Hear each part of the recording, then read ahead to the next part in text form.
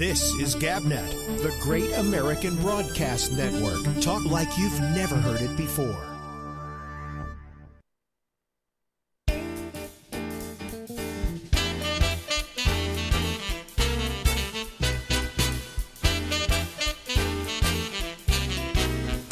Hey!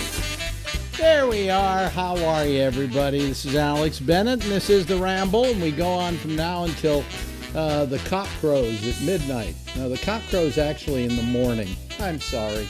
Anyway, uh, welcome to our fine program. And uh, we're going to get to our citizens panel in about a half an hour from right now, but uh, let's go out to the left coast of the United States. Ladies and gentlemen, the beautiful face that is. Show me the profile. Show me the profile. There we go. The profile that is Will Durst. Hello, Will.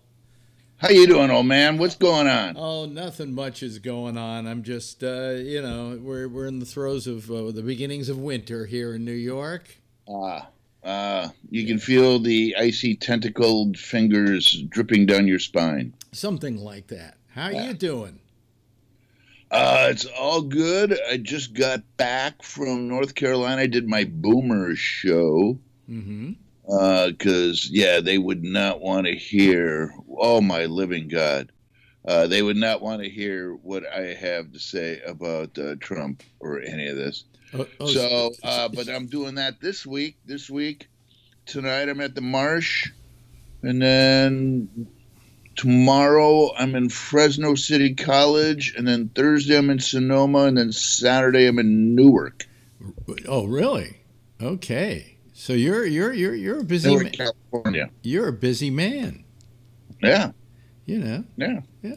So anyway, um, um, uh, so, uh, yeah, you say you can't. You you say you couldn't talk about Trump in certain areas. I mean, what happens? Do you lose them, or uh, do they boo you, or do they? What do they do if you do? You know, it's kind of funny because uh, I I I don't know what I did, but uh, I can make pretty much anybody laugh.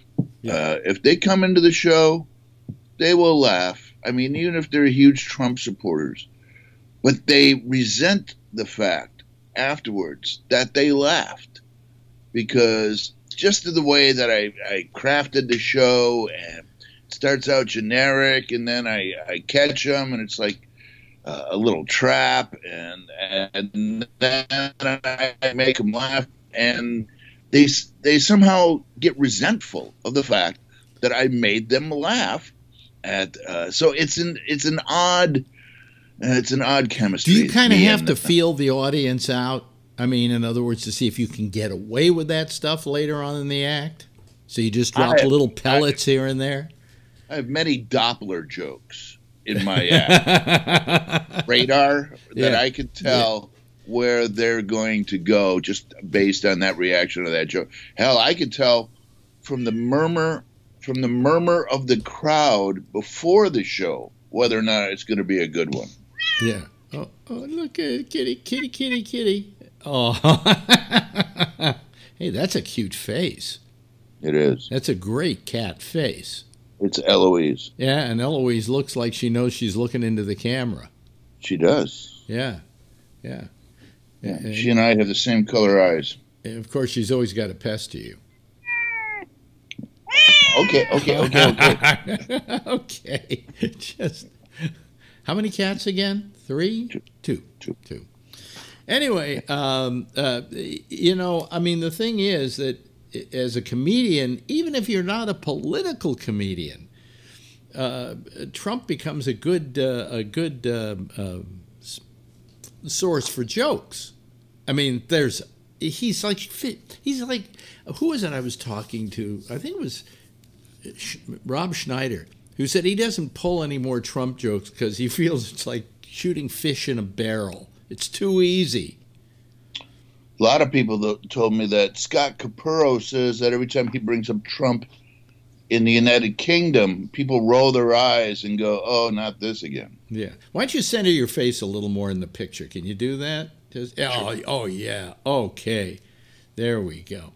Anyway, uh, in the, in, in, when he brings them up in the in the UK, what happens? people roll their eyes and go, "Oh, not this again." That they're tired of it. They're tired of it. Enough. It might be Trump burnout. Trump. It's enough. Enough is enough already, right? Yeah, yeah. Uh, I, I've had Trump burnout in a way, you know, but but he never lets you forget he's around. You know, I mean, there were there were a week that would go by you didn't hear much about Obama, you know, and then Obama would do something to be news, and then it's another quiet period. In other words, when Obama made news, it was because he did something, not because he said something or wrote something or became insane about something. Uh, and and then this whole trip to the to Asia. Well, the same is true with George W. Bush. After a while, you could almost forget that George W. Bush was running the country, that the country was being run by the the not as smart as his brother, uh, son of the former president. Yeah. You know, you would just forget about it. And then maybe two weeks later, you know, he'd do something. But with Trump, it's every day. every Yeah. day. I mean, he was he was 12 time zones away.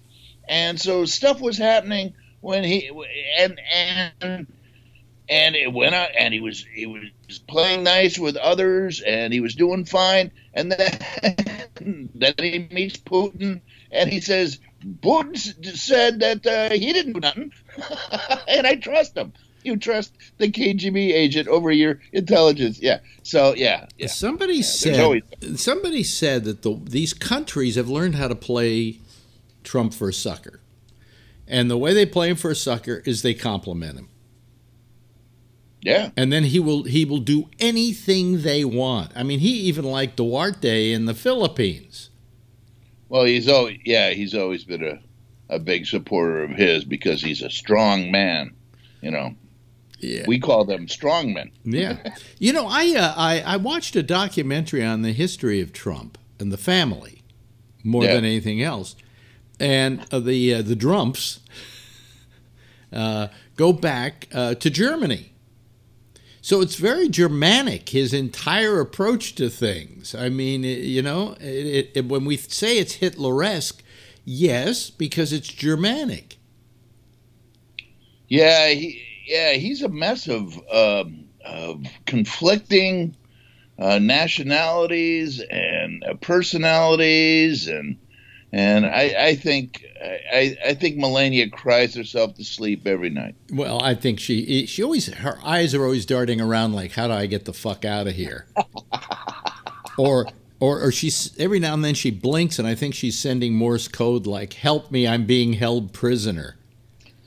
You know, uh, but it's her bed. She made it. You know, and uh, she's the first the first non-speaking English first lady we've had.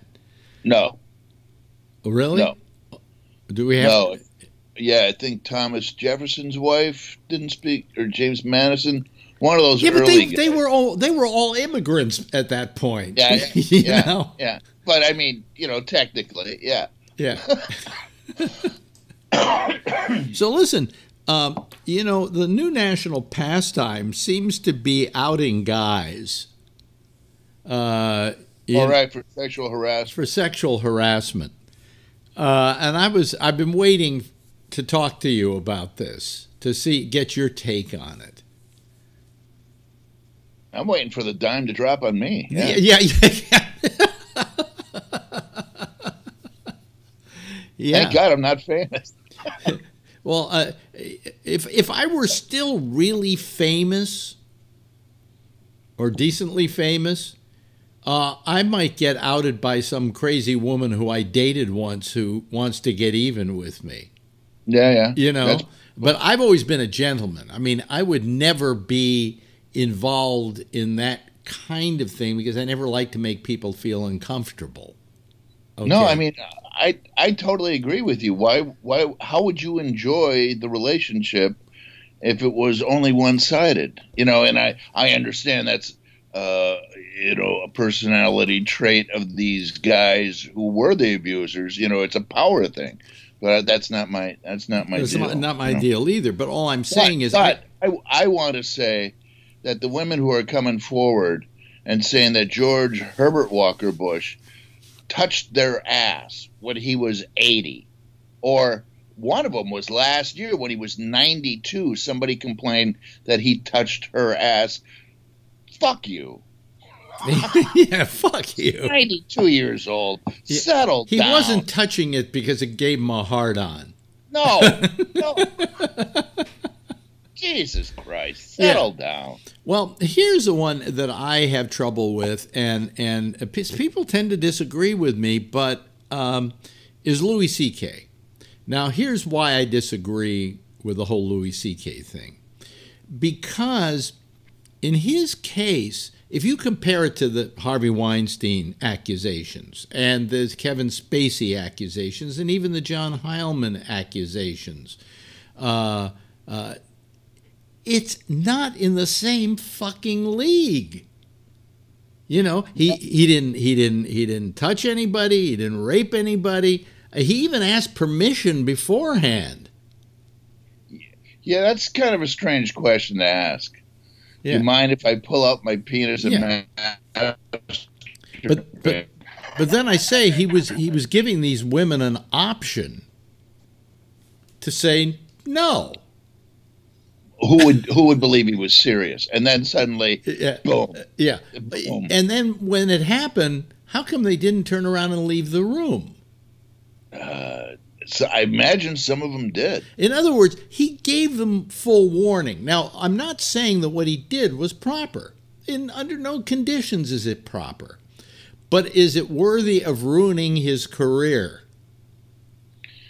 You know, the problem. Well, I mean, compared to all these other guys, if if Weinstein is guilty of what they say, if Spacey is guilty of what they say, these were horrible, terrible people. But you know, Louis C.K. pulled out his penis. You know, thing is, we're all uh, comics, especially comics. I mean, everybody in show business yeah, is is accumulated impressions, and you know what you think when you think of Brad Pitt. But especially with comics, we are your impression of us, Yeah. and that's that's why we use makeup and costumery, you know, because because we want to uh, mold that impression.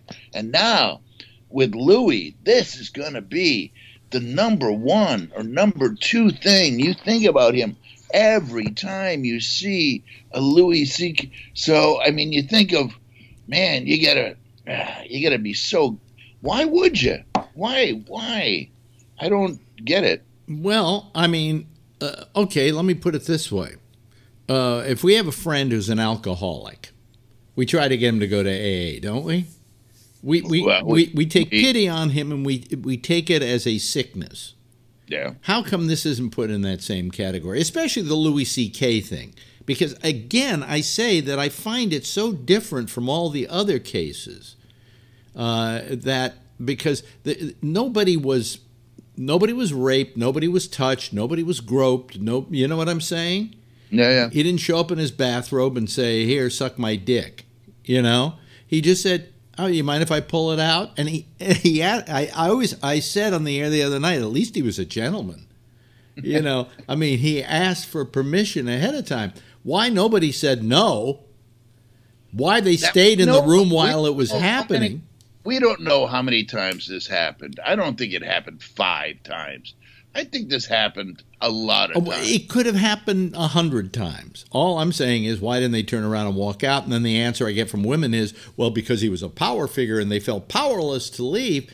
Well, then what are you doing? Are you saying that women are weaker than men and they, they're such fragile human beings that they that they can't just look at a guy and, and look at his dick and laugh? Now You know? are being purposefully obstinate. I mean, you you know what it's like in different different levels of your career. He never did this to a headliner. He did it to an opening act or a middle act. He never did it to a fellow headliner. He didn't do this to Kathleen Madigan. You know, he did it to people who were under him. You know what the uh, the Well, uh, he- the for instance, his- his- in a comedy club is his, his partnership uh, in in a lot of his stuff has been with Pamela Adlon, and uh, she just yesterday said, "I'm appalled by all of this, and I'm never going to do business with him again." Now she was he was literally her partner in business, okay, and she didn't, I guess, ever uh, come against this problem. Otherwise, she probably would have. Well, I've been hearing about this problem for the last two years. With him? Yes. Uh, yeah. I've been, I've been reading stuff here and there, and and and on the web, and uh, mostly, yeah, I've I've read you know rumors and and two unnamed women, and and now finally, hey, did you read, uh, read uh, the Sunday New York Times? Laurie Kilmartin had a piece in there. No. Did you read that? No. You know Laurie Kilmartin. Yeah, I know Laurie Kilmartin. Yeah, yeah, it was a great piece. And what was it about this whole situation? Yeah, And- it was about the power structure. And what And- did she? And what did she say? She says that every woman in comedy that she knows of uh, will there's there's some gap in her career because there's a club owner that she knows that she will not work for or there's an agent she will not call. And so that you know they have these things that they don't have the same kind of opportunity because they have to willingly give up shit in order to progress because there are guys like this everywhere. Okay, but there are also gay uh, club owners, and there are also gay um, uh, uh, No, there uh, aren't. agents. no, there aren't. There's gay agents, but Yeah. there's Yeah, there's no gay club owners. you sure of that? The fact that you have to ask is if, if I'm sure of it means that the ratio is a it's not your normal Right. 10 But what I'm saying is, what I'm saying is, there are agents and so on who are gay, and I'm sure this happens to guys too. You know, I, I, I'm in fact, um, I, I think it was again Rob Schneider who said there was this one very big mo- motion picture producer who he met with, who asked him to get down on his hands and knees and try and suck him off. You know, he said he got up and walked out. But, you know, this goes on with males as well. And yet, uh, we don't, it, it, this hasn't been the concentration of the effort. Most of the Me Too's are women. And it doesn't just happen to women. I got to tell you, I mean, as a young man uh, who was in the theater, uh, there were directors who came on to me who were gay. When, but when they found out I wasn't gay, they backed off. You know, them. but uh, uh, you know, I mean, and, and the other thing about guys is, let's say, okay, um, I could think of maybe one or two women who were crazy enough to make these accusations towards me, although they were totally the aggressors. I, you know, in fact, one of them I didn't even really like. Okay, but they could suddenly just say it. Okay. Uh, oh, Bennett had sex with me and he gave me drugs ahead of time and and and now she's made the accusation. Who are they going to believe? Who are they going to put the most weight on in their in this scenario? The accuser or the person being accused? Well, if she's a civilian and you're you're a person in the limelight, I mean, you know, just the equal weight of having your name besmirched, uh, it's it's bad against you. Yeah, you know, even though I may not have ever done it. right. You are not afforded. Yeah, Yeah, I mean, Yeah, I, I, I love to tell the story about how I I don't love to tell it because I wish it had never happened, but I love to tell the story about how I uh, uh, a long time ago had a call come to me from a guy who said, "You got my daughter pregnant," and I said, and he said, "Who is it? and I said, "Who's your daughter?" And he named the the daughter, and I said, "Never heard of her." He said, "But Ah. she's but she uh, she's pregnant. She told me you were the father." I said, "Well, I got to tell you, I don't even know this woman. I don't know where this this notion comes from." And and finally, he I got a call a couple of days later, and the father said she admitted it wasn't you. Just she listened to you every morning. It seemed like a convenient name to name. well, you know, had that continued to to court. had that happened in this day and age, I could be out of work over that, and I didn't even do anything. And that's why I'm kind of sensitive about this because I'm in show business, you're in show business, and This could have happened to us from some crazy lunatic. Well, it's like the Kevin Spacey thing in the Nantucket bar. Yeah. The the kid was 18. Oh, we feel bad for the 18 year old kid who's pretending he's 21 so he can drink. He had fake ID.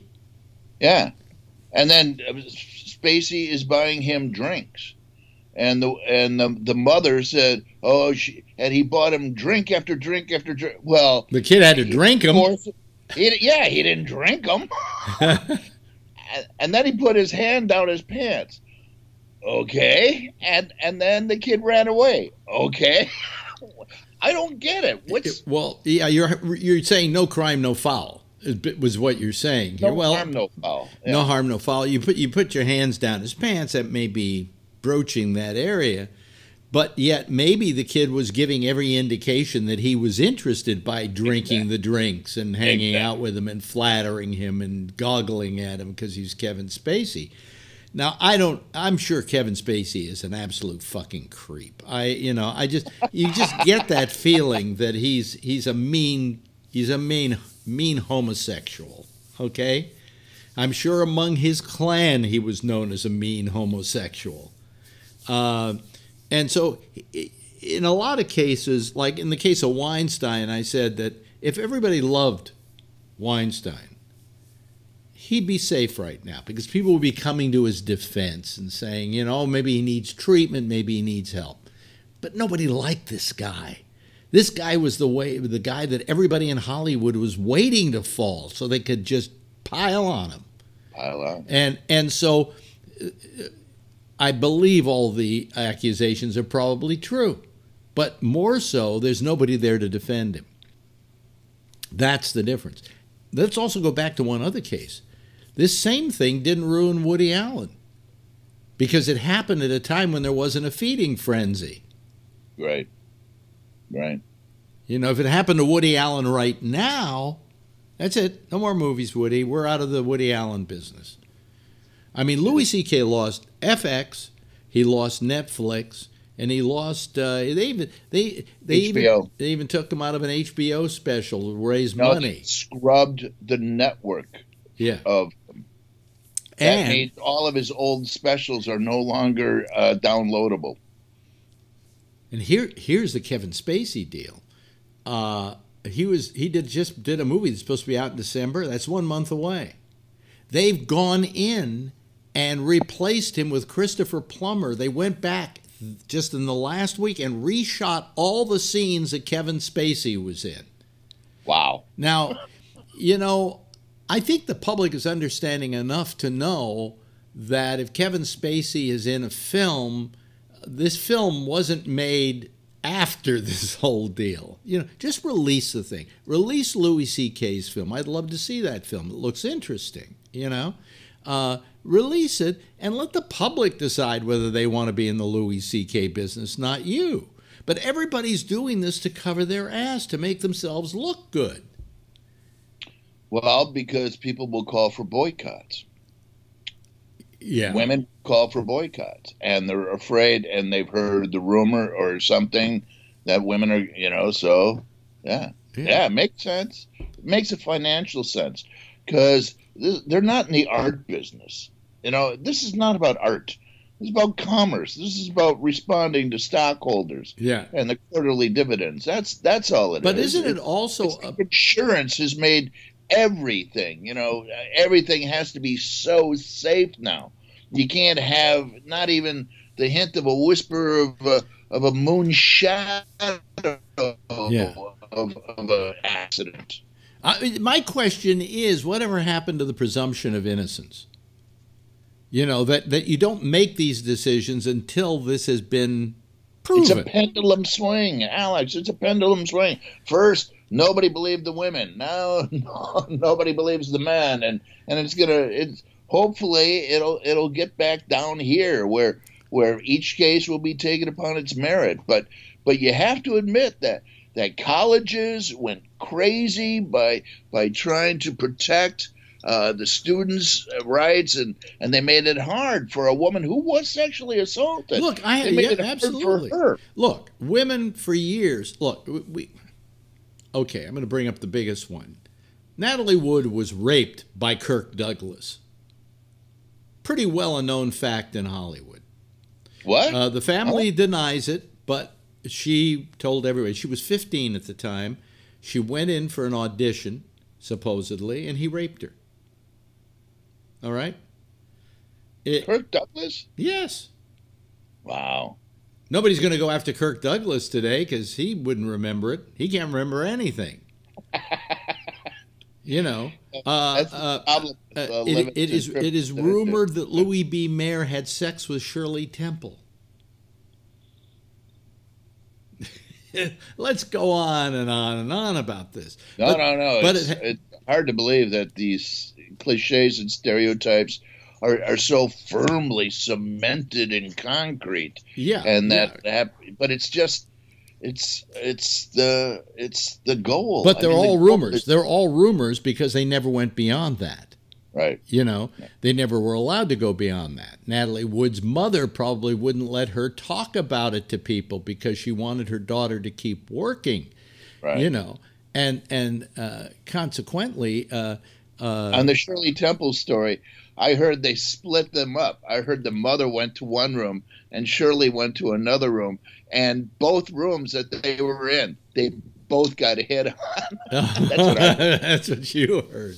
But all I'm saying is, look, women have been the suffering this for years, and so have men as well, uh, at the hands of homosexual directors and producers. and men are taught to take the knocks and keep moving, you know.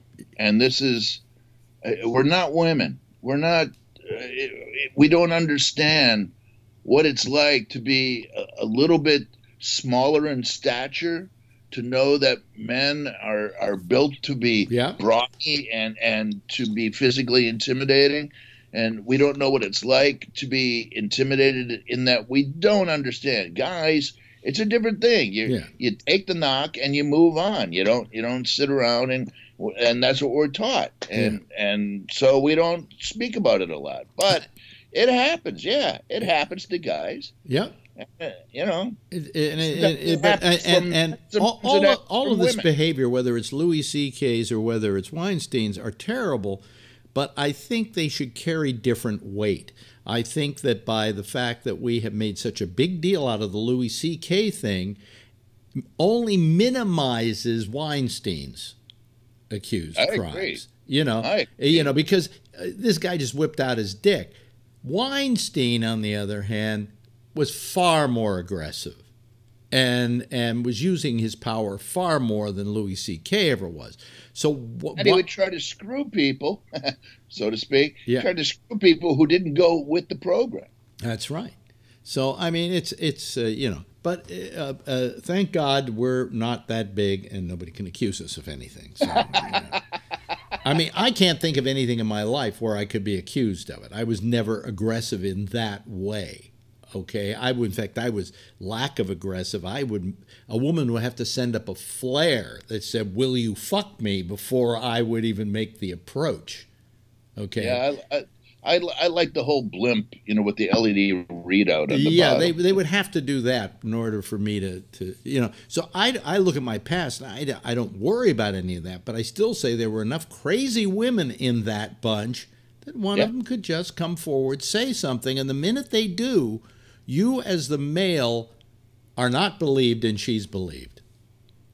You know, and and what do, what do you, what are you going to do about that? And I so as a sh- as being in show business myself or the fringes of it in radio, being in show business, uh, I I feel that could have happened to me, even though I've never been guilty of anything. And I think you Right. probably So feel you don't want to you don't want to come down too hard on on Louis because yeah. you have yeah you're right there have to be gradations you know there have to be levels you can't lump everybody you can't lump Hitler in with with the shoplifter you know Mm, well, that's what you're doing here. yeah Really, you know. Yeah.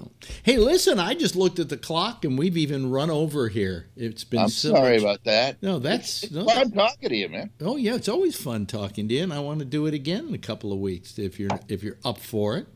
Totally. Probably do it during the Christmas season. We can uh, sing Christmas carols together and what have you. Ladies and gentlemen, the smiling face from San Francisco of Will Durst.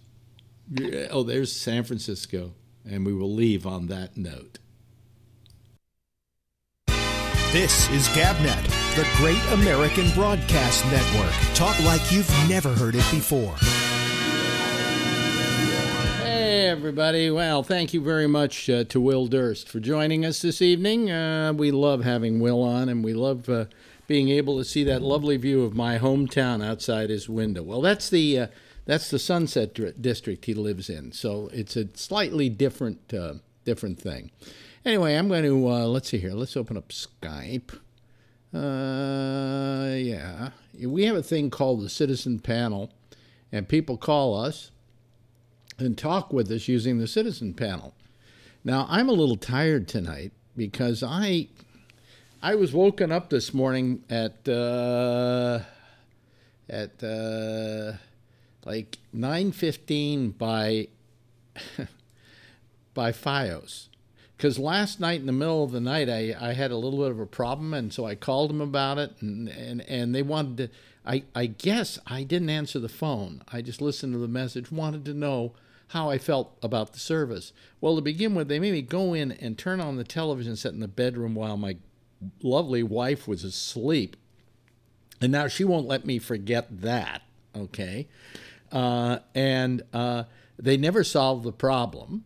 And I finally got it solved this morning by calling somebody, and I got somebody in New Jersey rather than in New Delhi. And um, um, we got it fixed. It, it was a very stupid thing. Whenever you went to one of the, the premium channels, it said, uh, You're enjoying a free preview, blah, blah, blah. If you'd like to subscribe, hit this button. And I'm going, I subscribe to this. What am I getting this for? And finally, I found out later on that what the story was is that we um, uh, we we were uh, what was I going to say? We're we. Uh, uh, uh, I'm, I'm having a little bit of a problem here. I can't understand why on Safari this thing is like so far behind, and I don't understand it. So let me see here. Oh, here we go. There we go. All right. Uh, no, so I, I, I, you know, I found a guy told me, oh, well, they're running a promotion now. You're not affected. You're subscribed to everything. And I went, well, that's rather stupid to have that thing. It was annoying too. It would come on and stay there for about a minute while you're trying to watch a movie or some show or whatever. So, you know. Anyway, I'm waiting for some people to call. The phone lines are open. They've been open for about two minutes right now and I don't know what it takes to get uh, get you to call, but sometimes it takes a while for people to do it. And um, you know, we were talking with uh, with with Will about the whole harassment thing that's going on, uh, or as I like to think of it, the harassment fad. You know, it's like uh, we, we couldn't be happy with Harvey Weinstein. you know the news was always looking for the next famous person that they could they could you know rat on and now there are people jumping into the fray i'll tell you later when i read some of the items that i have here who are starting to sue and they're people you never heard of before. They're jane does you know? They they don't even have the guts to say who they are. It's it's it's scary. It's scary. Uh, i'm i'm a very fair person. And part of that fairness is that I really think that if somebody's going to accuse you of something, uh, people should give you the benefit of innocence until proven guilty. Now, if you admit to it, that's another thing. I mean, Louis C.K. admitted that what he did, he did was, and he did it, and it was wrong. And uh, I thought that was very decent of him, actually. I mean, everybody said to me, oh, yeah, he wrote a really good thing. That was really terrific. But he wrote it, and um, uh, but he's a good writer, and he, he so so he can convince people. Well, what? Because he's a good writer? Because he can write good material? that wasn't that that that thing he wrote wasn't to be taken as it as as, as what it should have been, and that is as a very remorseful kind of mea culpa. So I don't know. I just I, I and I I think uh, Durst put it best when he said you can't equate a guy who robs with Hitler. They're both crimes, uh, uh, but you can't. You just you, you can't compare them together. In other words, the weight of Louis C.K.'s situation doesn't really uh, equal the weight of Harvey Weinstein's accusers. Uh, the, the, the, the crime, if uh, it is a crime and uh, if, if proven so, is much worse than Louis C.K. is accused of. Louis C.K. is accused of being maybe oafish, of being in bad taste, of uh, embarrassing other people, but he certainly didn't molest them, didn't try and sleep with them, didn't try and, you know, I mean, don't hear anybody coming forward and saying, you know, Louis C.K. raped me. You hear that about Weinstein. You hear it about Kevin Spacey. You hear it about a lot of these other people, but you don't hear it about Louis C.K. And I, I, ah, guess what? Jeff Stein is calling. Thank God, Jeff. Thank you for calling, Jeff. I appreciate you calling because if you weren't calling, I'd be sitting here talking to myself forever. You know, you got to turn on your microphone. Your microphone isn't on. Wait a minute. Hold on a second. Oh, that's great. I get a caller, but he's his microphone isn't working. No, I can't hear you. I can't hear you. Oh, no. There, there we go. There we go. Whatever you No. did there, that did it. This yeah. speaker thing doesn't work. The, the earphones don't work? Yeah. But you can hear me, right? Oh, wait a minute. Now I don't hear you. Now you're on. Now I can't hear you again. What What is it? You, you click something that made it work. All right, There, this is it. there you go. There you go. But uh, it seems like it's uh, something is wrong about it, but I don't know what to do about it. Yeah. Whatever I try, it doesn't seem to work. Well, you, but what- you just flipped something there that made it work. yeah, I did, and I I unplugged this. Oh, oh, you unplugged that. Oh, okay. Yeah, but then then I couldn't hear you, and you had to click on something else. Right. Yeah, at the same time. You know what it could be? It could be that where you put your earphones in really wants one of those earphones with the microphone. Yeah. You know, and what you're doing is you're you're you're cutting off the uh, I don't know the what, what microphone are you using? The one in the in the laptop. Yeah. Yeah. Yeah. So what happens is when you plug that in, it disconnects that microphone and is looking for that other microphone. So you might want to get one of those little headsets or whatever with a microphone. I don't have to try that. Th- th- That's probably what's doing it. But, anyway. Anyway, but actually, the one thing that I heard today yeah. on TV hmm was a, a guy who uh, I guess he's a, uh, senator and he wants to become another senator. He wants to he wants to keep his job, but he's a Republican and he's from Alabama. What state is he? Down south. Well, not Alabama. That's where the Roy Moore thing is taking. Yeah, the place. Roy. So I I found something new about Roy these days. What's that? He's not allowed in the mall. Yeah, that I heard that. And what does that mean? Well, if you ever go to the mall, that's where all the kids hang out. Yeah, yeah. No, he was. He was. He- they were told to watch out for him and to not let him into the mall. And officially he was unallowed. not, this is not this week. This has been for years. Yeah. He's not allowed in the mall because he fools around with the young kids. Yeah, well, you know what's you know what's going you know what's going to happen in Alabama. I'm sure of it. Hello, Tony. Gee, imagine it's to, uh, to, uh, where where's everybody else tonight? Well, I don't care. I, well, I, you guys are great. No, uh, the thing about the mall um, uh, thing is that you can throw all this empirical evidence at the people of Alabama, and they'll go, "Well, a child molester is better than a Democrat." That's actually that's laugh. really their That's that's really their attitude down there. That's a little horrible. What, what were you saying? terrible. that is terrible. What were you saying, Jeff? He's also a Christian. You know, there it's a very religious uh, state. Yeah. Well, he's no look. That's He's like a freebie. he says he's a Christian. Obviously, he doesn't act like one. You know. Well, So I mean, that's that's ridiculous. He wrote in the yearbook. My mother said, Alex. What? That guy wrote. My mother said the guy wrote in the kid's yearbook. That. Well, they ju- they proved that that was not his handwriting. Oh, okay. That's yeah, good. but th- that that was a fake. Oh, all right. But you, you know, I mean, uh, do, does he look like a guy who would go chasing fourteen-year-olds when he was my mother wants thirty-two? Anything's possible with these born-again Christians.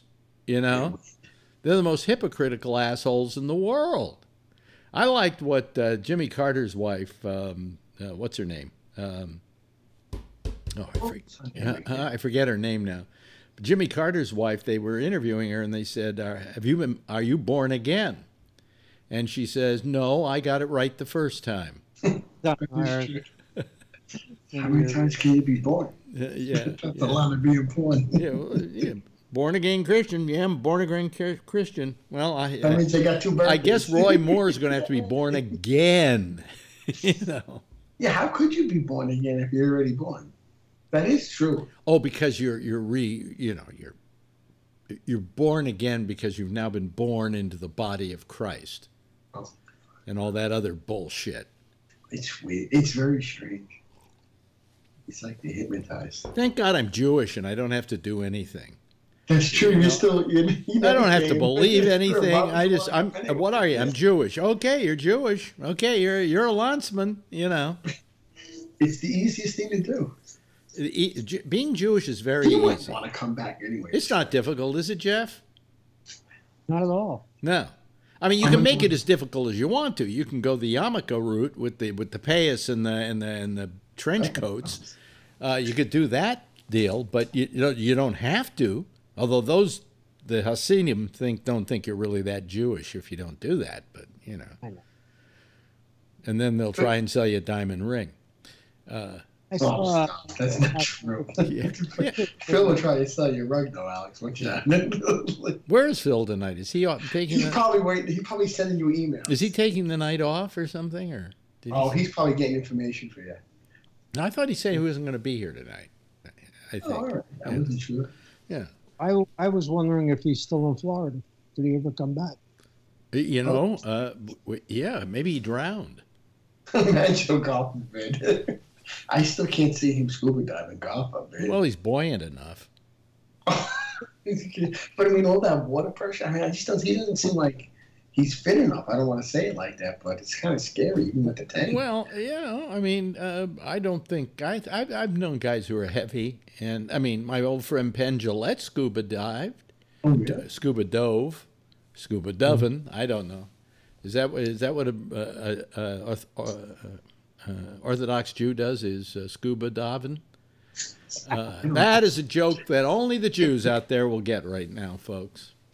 Uh, but no, he, he was kind of on the heavy side, and he He's to- tall, right, now. Yeah, tall. He used, he He looks tall on the TV show. You know, it's it's a great place for a fat person to uh, uh, to sw- go because the the they're light as a feather. Well, that's true. You know? I used to scuba dive. Did you really? Oh yeah, and I was certified and all that kind of stuff. Yeah. And it's really, it, depending upon where it is and and where the the water is being moved around, it's usually pretty easy to do it Yeah. because you have a team. So you're able to actually to get it to go up and go down by Yeah. adjusting the pressure. You Uh, don't have to do much. Here we go. Here come here comes the fat scuba diver. Uh, hello, Phil. Hey, good evening. Is everything working? Uh, it was all pulled apart, so uh, What was and I didn't and I didn't realize it. what was pulled apart? All, all my stuff, you know, uh, computer and everything was off. Why? Oh, because I had left for a week, so I I shut everything down, and well, uh, that just means turning it off, doesn't it? Hello, Not hel- hello, hello to Michael not- Cl- uh, Michael Klein. Hello, Michael. I forget where are you from again? Uh, well, I grew up in Marin, but I'm here in uh, beautiful LA. L.A., beautiful L.A. Where in Marin, by the way? San Rafael. Yeah, I was San Anselmo. You know. Yeah. So, uh, and then uh, we were separated by the Miracle Mile. Remember the Miracle Mile? It was a, it's a it's a mile long yeah. strip that goes from I used San to work Rafael. at McDonald's. Yeah, it goes from San Anselmo to, to San Rafael, and we always used to say it was a miracle if you got off that mile. Yeah. Do you do you remember the computer store was a bite? Oh, y- you know something? store? By, I, by the time computer stores opened in Marin, I wasn't living there anymore. I'm sure. You know, I was already elsewhere. So uh, anyway, uh, uh, but anyway, oh, oh, uh, uh, so everything was pulled apart, Phil. You say? Uh, yeah, uh, I'm almost back. But I mean, all, all you have to do when you go away is just turn the stuff off, I did, but yeah, I took or the, you, the or or even better, you can leave it on. Uh, I took the earphones. Uh, you know, I, it was all was all off. I didn't realize it, so I had Yeah, to turn it all yeah, back on. But you, uh, you know, when I go away, I leave everything on. I don't, Yeah. I don't turn it off. You know, Uh, turning turning computers on and off puts more uh, Stress. stress on them than if you just leave them on. So anyway, Uh, yeah. Mi- Michael is sitting back, savoring a very nice wine.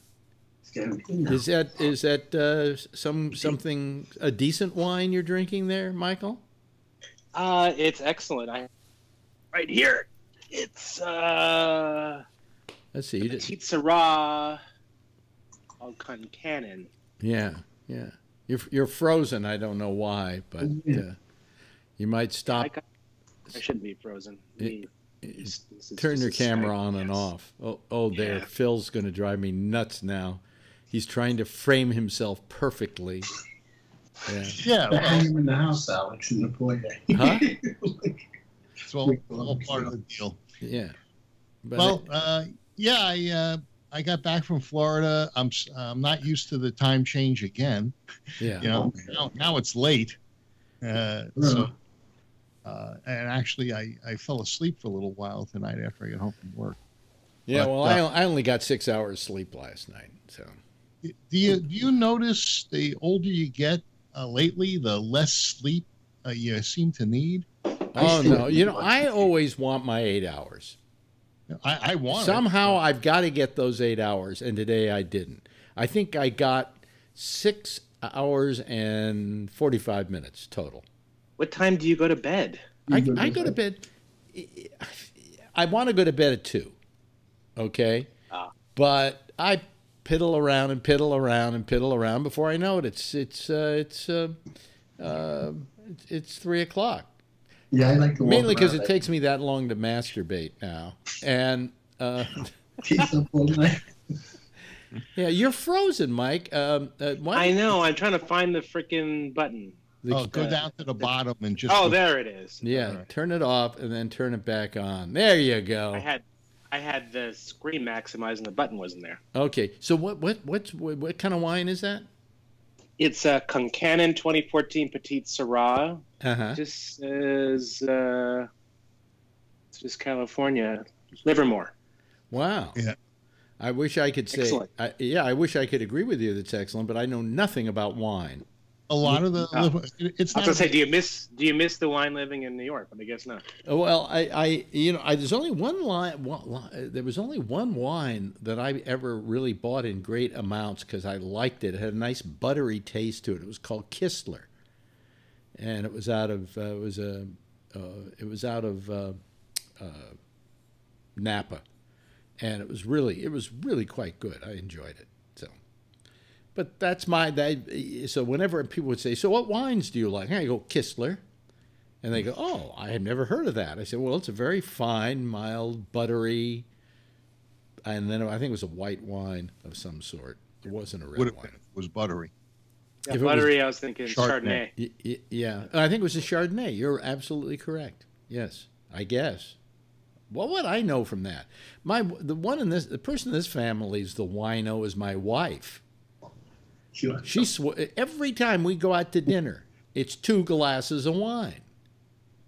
Now, you know when Normal dinner. huh? Me. It's normal for me. Yeah, but you know something? What they charge for a glass of wine is criminal. Yeah.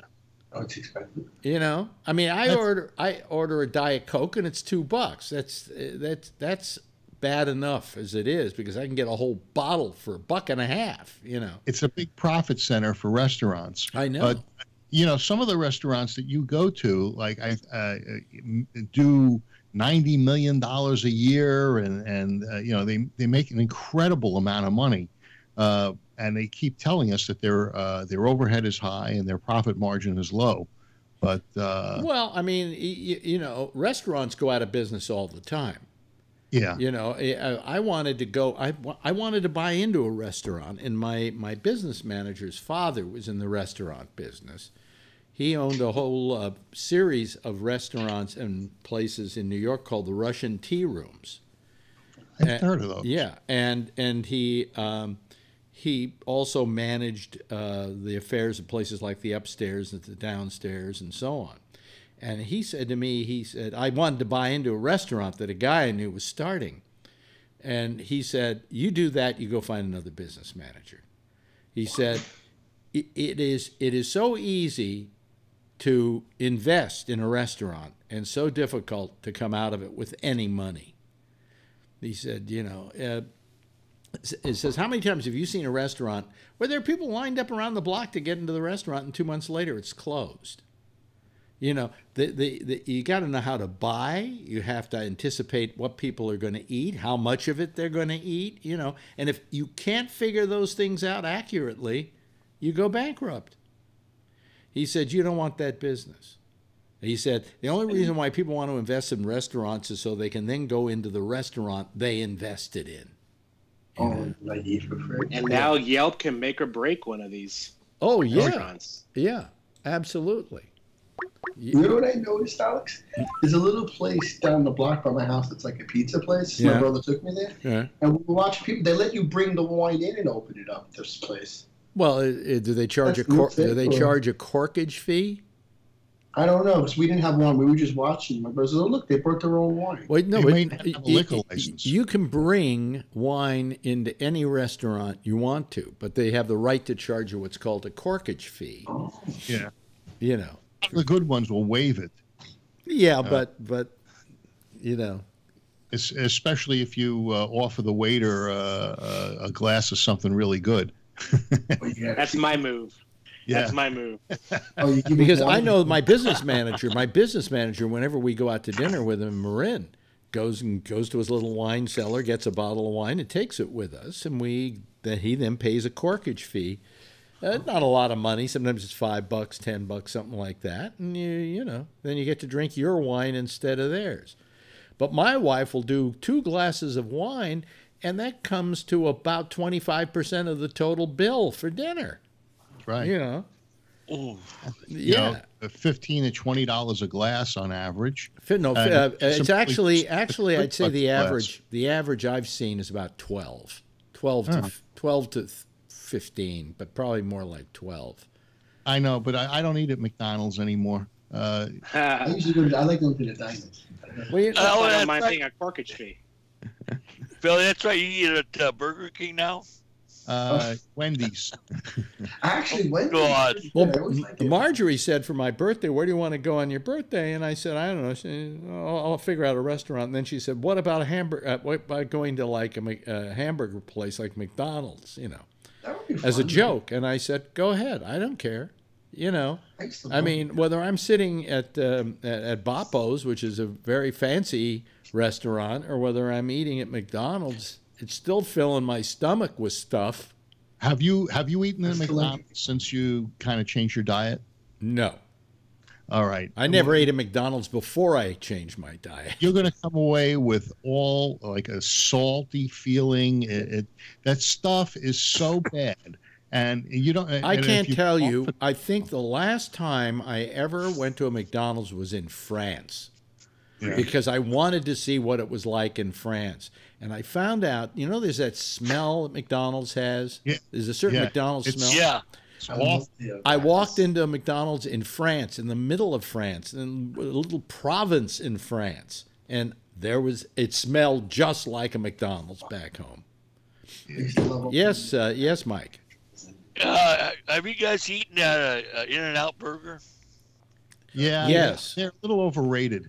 Yeah. You know, to me, to me, to me, the French fries is less saltier.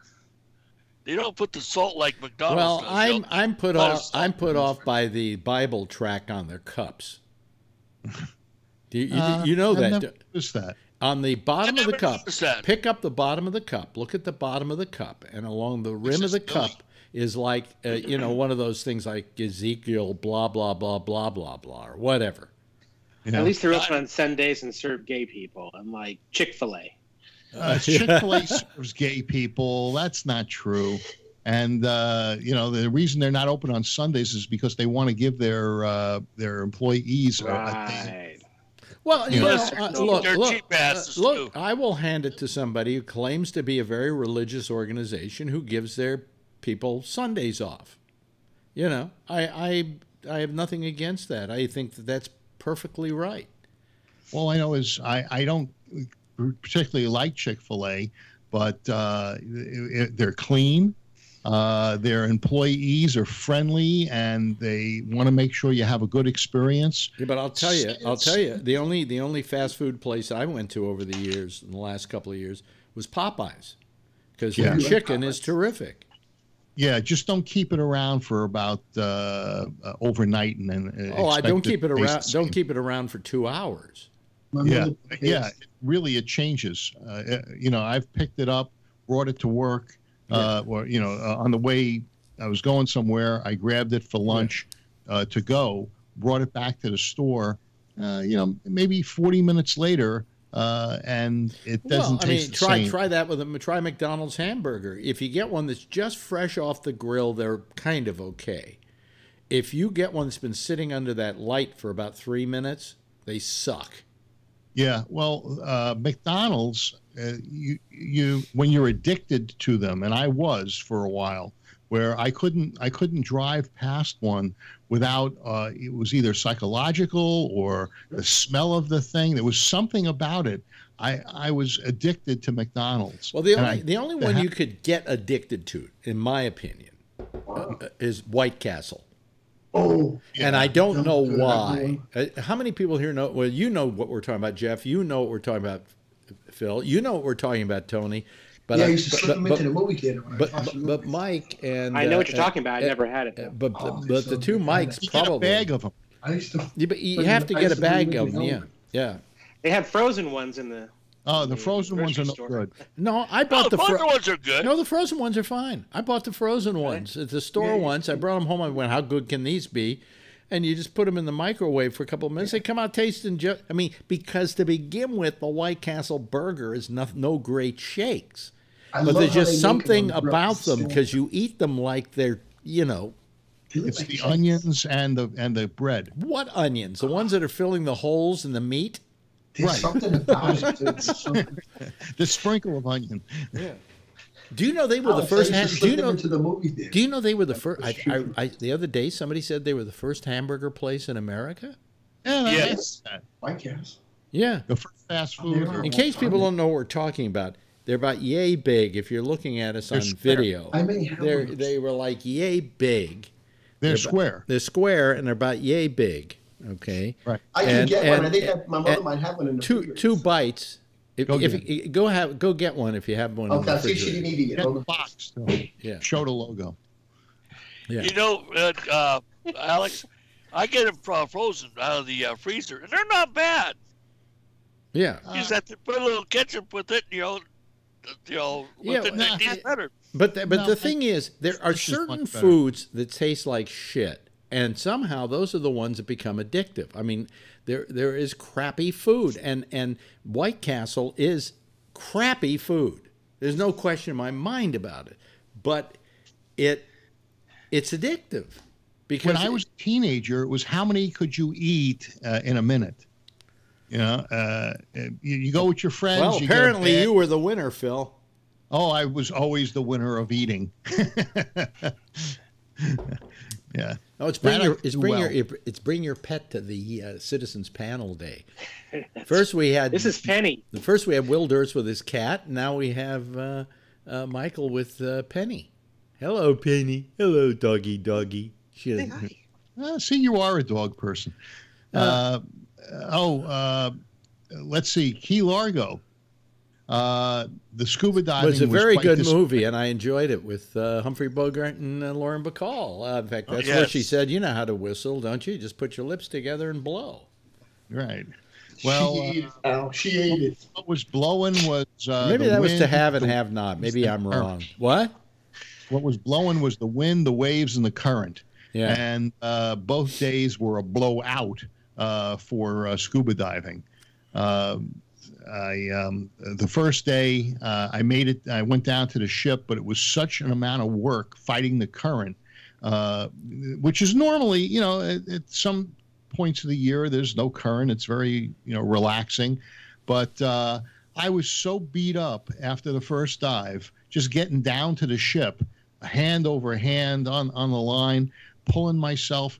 Uh, when I got back up, I was totally exhausted. I actually skipped the second dive that day, and then the Sunday, uh, it was it was more current. The waves were bigger. Uh, I, I got down about eight feet down the line, and I said, you know, this this is not fun. So I, I went back up and I said, I'm done for the day. Uh, I- and so I- that was my scuba diving. I went uh, snorkeling uh, when I was in uh, Belize, Yeah. and um, uh, I got into the water, and then I, you know what I couldn't do? I'm a, I was, I'm a very good swimmer. I was always a great swimmer. Uh, but you put a pair of fins on me, and I can't stand it. Really? Yes. Makes life easy. No, I can swim better without them. Okay. Uh, yeah. Because of your web feet. Yeah, because I have these enormous feet. In fact, I, I, I don't fit into the fins. No, so I, I had to go back in the boat. But now at that point, I was fat enough that I couldn't get up the ladder, and and and people were trying to help me, but I couldn't do it. So I just got back in the water and swam to shore. And I said, "Fuck it." Man. Try doing it with 45 pounds of gear on. And then, Well, and, and then Marjorie, Marjorie, on Tons of the other hand, went and scuba dove so she could go down and see these coral reefs, and she said they were all just bleached; they were dead. Uh, you know, uh, Stephen Frink, who's the uh, editor of uh, Dan magazine. Dan is an underwater um, uh, service that uh, provides medical and, uh, and and other things for scuba divers. Yeah. He's a very knowledgeable guy. Uh, just wrote an article how the uh, bleaching and the dying of the Great Barrier Reef is a bit of fake news. That there are some areas where there's bleaching, but like with most things, uh, the media concentrates on those and doesn't show all the other healthy areas uh, that um, uh, aren't, are, haven't been affected for one reason or another. So there, uh, so when they say that the that the uh, Great Barrier Reef is dead, they're really overstating what's going on. Yes, there are some areas where there is bleaching and where uh, uh, there, there's some issue going on. Well, why don't you go not- to the Great to- Barrier Reef and come back and tell us that? Well, I, I well, I was there in 2003, and I took uh, a thousand pictures of uh, of uh, the reef life and, and so forth that, that I have. Uh, so when I go back, I'm going to again photograph. Uh, I'll, I'll do similar areas, and I'll photograph those areas, and I'm going to look and, and see. But I, I can rely on Stephen Frink uh, as a uh, as an expert and as someone that wouldn't be supporting this uh, thing if it wasn't true. The Great Barrier Reef, correct me if I'm wrong, is the largest single organism on the planet. Right. That's correct. But you know where you were in Belize was the second. Well, it was bleached. Uh, as long as it didn't bubble out. she said it was very disappointing. She said it was very, very disappointing. Well, uh, they probably took her where all the tourists go and step on the on the coral. Yeah. You know, You- uh, you know, it, Belize, I don't know if you've ever been to Belize, it's awfully low I- rent. It's really, Really? yeah, yeah. That's it's uh, one of those places that they say it's good to retire to if you're an American. And uh, yeah. Well, a- ask John McAfee if that's true. Yeah, well, he got his neighbor's dog or something. I mean, if uh, you know, if if he uh, you know was a reasonable person and wasn't off his rocker, maybe he would have gotten along. Yeah, yeah. Uh, but uh, he felt the Belizean government was out to kill him. Yeah, and you know, yeah, he feels everybody's and after seeing this documentary on him, I don't blame them. Yeah, Yeah. I did see it, and and the woman that worked for him uh, uh, in, in that documentary, uh, Yeah. she, yeah, she, McAfee, we're, we're talking about John McAfee, who's the guy who came out with the antivirus software, right?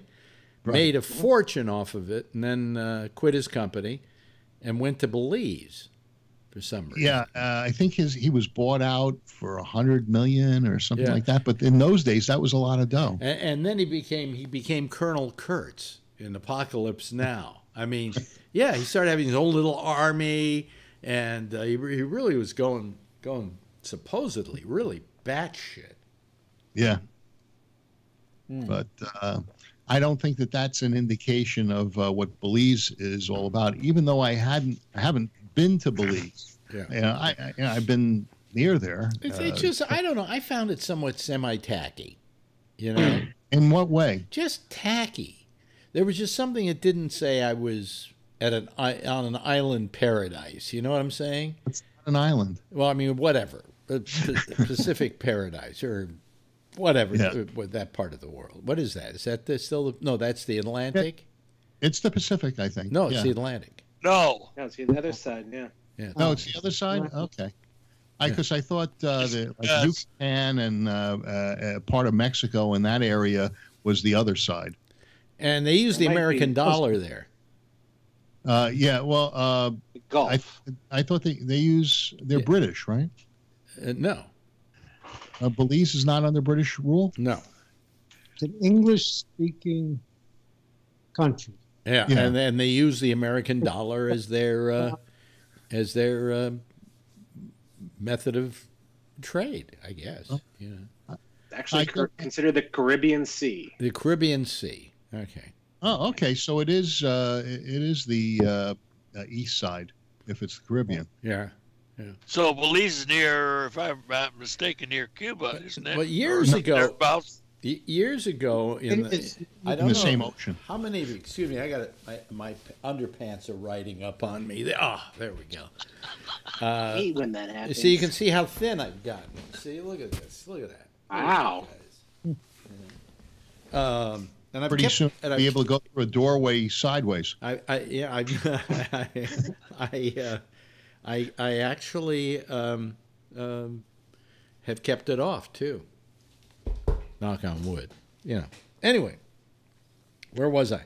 Oh yeah, so there's this movie Radio Days, Woody Allen, and uh, this kid played by Seth Green. It was his first movie. He was like a child actor at the time. Did he get uh, molested? No, By other- n- I don't think so. I don't think so. Uh, but if he did, Just wait, it'll come out. yeah, it'll come out. Yeah, uh, that's what he said. Um, Hey, Bada boom. uh, i- i- his parents are always arguing, right? And one time they're arguing about which is the best ocean, the Pacific or the Atlantic. You're nuts. The Atlantic Ocean's better than the Pacific. So I throw this question at you, folks. Which is the better ocean, the Atlantic or the Pacific? Pacific. The one you're in. Huh? What, what, what, You're in. Uh, No, what, what would you say? I, I I would say the Pacific too, but then again, yeah, I was there's, there's yeah, there's more to do. what- There's uh, it depends on what part of the Pacific. If you're up in Northern California, yeah. it's cold. It's it's 45 to 50 degrees. No, but I'm not Uh, saying about swimming in it or anything. It just happens to be a better ocean. It is. Yeah, it's more. It's more. Uh, uh, water. no, not more water. It's just Less that's right. salt. There's a lot. There's a lot more to see. There. There's a lot more scenery. Well, the the whole Pacific Rim, the nations that it takes in. I mean, they- they- we're talking about all the way to Japan. You know, I mean, I just I, if I had to live one place or the other, I would probably want to live uh, uh, in uh, uh, in, in on the Pacific Ocean than than the Atlantic Ocean. Plus, the Atlantic Ocean, at least here on the East Coast, the beaches aren't that expansive. You know how you get those big, giant, deep, sandy beaches in, on the Pacific Coast? Yeah. Right. You don't get you that why? here. You don't get that here. because there's a drop off, whereas in the, in the Atlantic there's a, a shelf that, uh, that that goes out where you can walk into the water and it's maybe three or four feet deep for a significant amount of area, and then it drops off. Yeah. Whereas in in uh, in uh, California, the uh, when you get into the ocean, it drops off almost immediately and, and gets deep, and uh, that creates a different wave action than. Okay, well, uh, everybody take a stand here now. Uh, wa raise your hand if you think the Pacific is the best ocean. okay, and and uh, Atlantic, raise your hand. Okay, Jeff, I, I should have. I had to pick something different. you had to what? I had to pick something different. Oh, I see. Okay, all right. But I think the scenery in California is a lot more prettier than the Atlantic. Well, what what happens when you with the Atlantic is the places in Europe, for instance, that are the most interesting. Like the Mediterranean is a great sea. It's a wonderful sea. If I had any sea to live in, it would be the Atlantic. I mean, it would be the Mediterranean, because you got all those great countries that it borders. You know.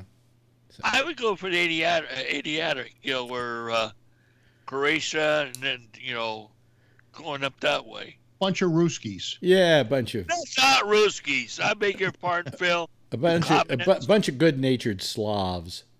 Yeah, Watch with the Slavs, Yeah, Croats. uh, Croats. Croatians.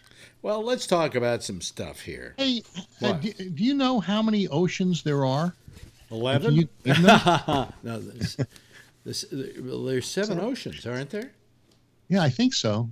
Atlantic, Uh, Pacific, Or is it seven seas? huh? See the Pacific, Atlantic, Indian, hmm Adriatic, Mediterranean, Is there a Those Chi- is there a Chi- is there a, The Caribbean. Mediterranean's not an ocean. Mediterranean's not an ocean? Uh, Uh, the Caribbean is not an ocean. Well, wait a minute. Hold on a second. Let me look it Not up. that I'm an expert. do you want me to look it up, or Yeah. Yeah. somebody else All look I it have up? to do is ask the question. I mean, I'm trying to do a show here. Can somebody know, look I it up? Wait just- minute. I just found out Mi- something. Mi- Michael's looking it up. The seven, the seven seas. I The se- sailed oh, the seven you know the seas. seven seas. Well, there's the oh wait, wait a minute. There's the uh, Antarctic. There's Yeah. seven seas and five oceans. Oh, Yeah. five oceans. I didn't know that. Oh, so the five oceans are Uh, Arctic, Southern, Pacific, Indian, and Atlantic. okay. See, and how about how about now uh, seas? Oh, Jesus. Bre- uh, uh, What did he have to do well, with there's it? Mediterranean. There's Adriatic.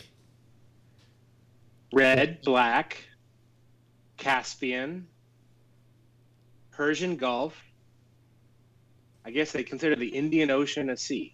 By the way, folks, you can use this show for credit tonight. So, Oh, excellent, excellent. uh, you know, so By the way, I use uh, a thing called the internet to find this stuff out. the internet is that something new? It's look it up in the encyclopedia, you'll find it. I'll look it up on the internet. It's fake. Fake, fake news. Hey, you remember Rose McGowan? Yeah. She's Yeah, one of the Harvey she was, uh, Weinstein's herself in today, right? biggest accusers. Yeah, she's been arrested. Oh my God, what'd she do? Well, she turned she turned herself in. She was uh, they were there was a warrant out for her arrest. Everything Yeah, is she- she is one of the- she play a basketball player that was shoplifting well in she China? she yelled and screamed about Harvey Weinstein raping her, and none of She this, was the one that started none of this, by the way, uh, should should minimize Harvey Weinstein raping her.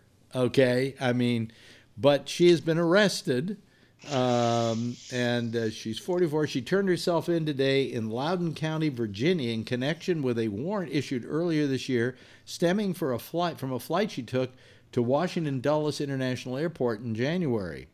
Uh, Craig Troxel, spokesman for the Loudoun County Sheriff's Office, confirmed that McGowan turned herself in, was placed under arrest, booked, photographed, and then released on $5,000 bond. The arrest warrant was reportedly issued in February by Airport Authority police after personal items left behind by McGowan allegedly tested positive for narcotics. It's unclear why it took nearly nine months for the warrant to come to light, but it did so just after McGowan took a central role in the outspoken uh, as an outspoken accuser of fallen movie, movie mogul Harvey Weinstein. She says he raped her uh, during a 1997 Sundance Film Festival. and he left the drugs on her personal items. Well, you know what I would do if I were Harvey, not that I know him personally enough to call him Harvey, what I would do to look really interesting is I would offer to pay all her legal fees in this case. What should want? Can afford it. And then see if she ex- and then see if she accepts it. Yeah. Well, Well, start dating. That would be fun. sounds like she's a piece of work too. She looks a little wacky. Let me put it yeah, that she's way. odd. You're right. Yeah, Yeah, she's she- an oddball. She looks a little wacky. Uh, I, you know, They may have to give her the drugs back just to make her be a little normal. you take these because you really need them. yeah, yeah, yeah. Take one, take two. You know what? Take three. Yeah. Now, now the here here's a piece of news that's going to be of absolutely no surprise to anybody. Oh. Tom Sizemore, you know who he is, don't you? Oh, he's another psycho. He was in Yeah. the movie Stranger. Yeah. Well, uh, he's known for his roles in high profile. boy, I can't talk tonight. High profile films including Saving Private Ryan, True Romance, Born on the Fourth of July, was kicked off a film set in 2003 after he allegedly molested an 11 year old actress. Another The story reports that Sizemore was ordered to leave a Utah set where the crime uh, thriller Born Killers was in production after the girl told her parents about the alleged incident. Months later, he returned for reshoots in Malibu after her parents declined to press charges. The incident has never been publicly revealed. When contacted, uh, the now 26 year old former actress, whom THR is not identifying at her request, declined to address the matter except to note that she's recently hired a lawyer to explore, explore legal action against the actor as well as her parents. Uh, now she was sitting on his lap in that incident, and and the claim was that he inserted her his finger into her vagina.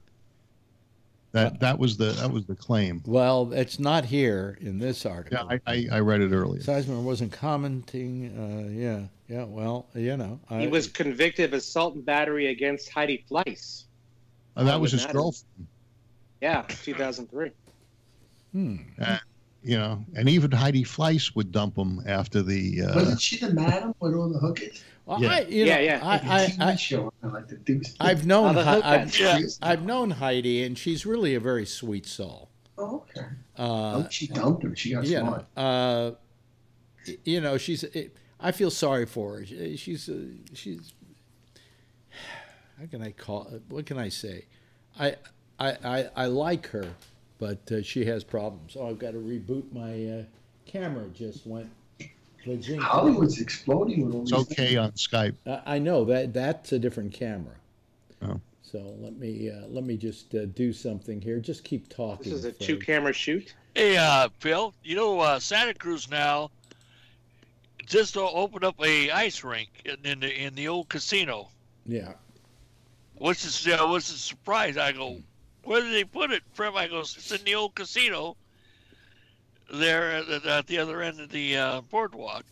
I go, I'll be damned. It took that long for them to put that in. He goes, yeah. I, I've only been to uh, Santa Cruz a couple of times. I, I don't know what the attraction is. You know, I, I'm I'm not much What it the. what it is, is it's the ocean, and you can go fishing off the docks there, Okay. and the restaurants there are good. All right. Enough of the travel log. Uh, Uh, did anybody see all of the stone crow, uh, uh, stone crab photos I posted on my Facebook page? no, I wouldn't. I look- saw, I saw your picture of you dancing up there. I can't even. I can't. I can't even. I can't even look at a photograph of stone crab. Stone crab. yeah. Uh, Wow, they look good. because I, for some reason, when the juice gets on my hands, it's very caustic. Uh, you know, you know what the problem is with stone crab when they crack and, it. and it, and- my hands turn red. I mean, I'm allergic to the juice.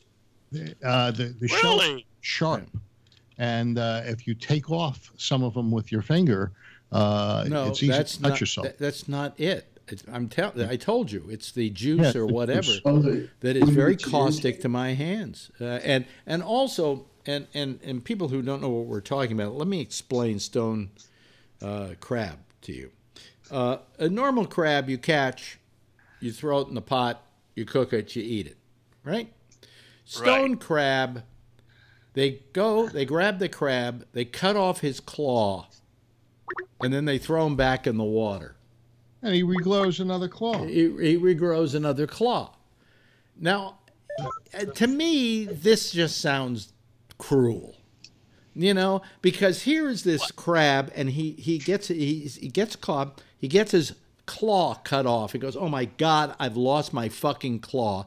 Oh wait a minute, they're throwing me back in the water, and now he's just going around in circles with one claw for a while until the claw grows back, and all of a sudden he goes, wow, you know, uh, my claw grew back. I'm now a full crab again. And then they catch him again and cut off the the claw.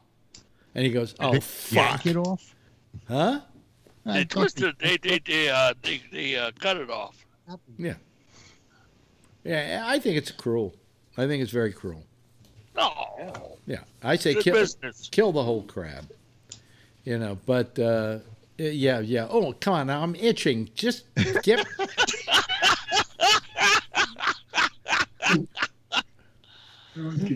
Right there's about uh, five hundred bucks. You get Oh, yeah. on the market. Okay. This was uh, this was thirty bucks, Oh, and uh, uh, th- and, and uh, this this was after. oh,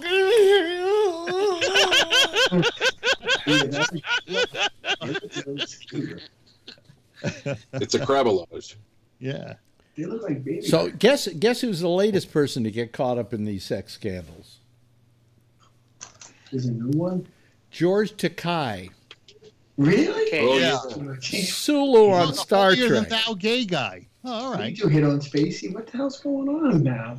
Some uh, Star Trek fans are baffled by the response of, to one of their icons in the allegations of sexual misbehavior, as George Takai at one point offered a strange excuse for the story that's been unfolding around him. Let me put my glasses on so I can read this properly. This is like a Another witch. one It's from George the Takei, Alex. Takai, Takai. yeah, it's another one from the from the 1980s. Anyway, um, the accuser, Scott R. Brunton, who was 23 at the time of the alleged incident, claims that Takei uh, took advantage of him uh, when he was his most vulnerable.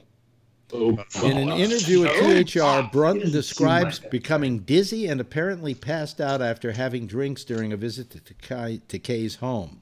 I'm trying to say it right.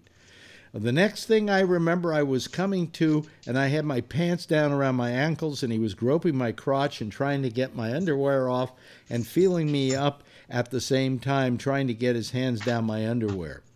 It came. I came to and said, "What are you doing?" And he said, "Oh my." No, he said. Um, that was my Takai impression there. Oh. He said, he said, "Oh my." Oh my! Oh my! and said, "What are you doing?" And he said, I, I, I don't want to do this." He goes, "You need to relax. I'm just trying to make you comfortable. Get comfortable." I said, "No, I don't want to do this," and I pushed him off. He said, "Okay, fine." I would have loved to have heard this whole exchange in Takai's voice. Um, Takai denied Brunton's allegations in a series of tweets to Newsweek and reports Takai uh, 80 went back on Twitter with an odd follow up. Listen to this. Days later, he tweeted two messages suggesting that Russia was behind the story, promoting the allegations using bots. I am accustomed to their practices, he wrote. He eventually deleted both tweets. Supposedly, he says that when he wrote something about Russians, uh, the Russians hacked his account and uh, took it, kind of took it down for a while. He should have said it was Vulcans. Yeah, right. It was him.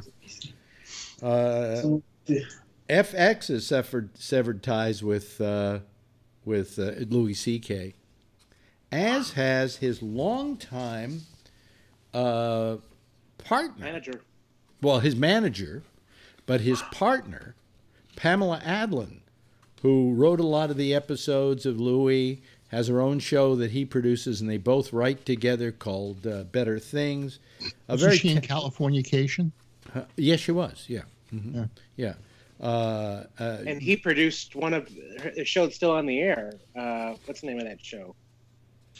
She's she's doing a show right now. But he's a executive be- producer. better, better things. Yeah, Better Things. Better That's Things. a great show. Yeah, it's a great show. Um, here's here's what, and also you know what else she plays on television, but most people don't know this. On The Big Bang Oh, Theory, one of the characters had a baby, and she plays the voice of the baby because She she plays a lot of voices. well, she was a voice uh, cartoon character voice person, and it, for years.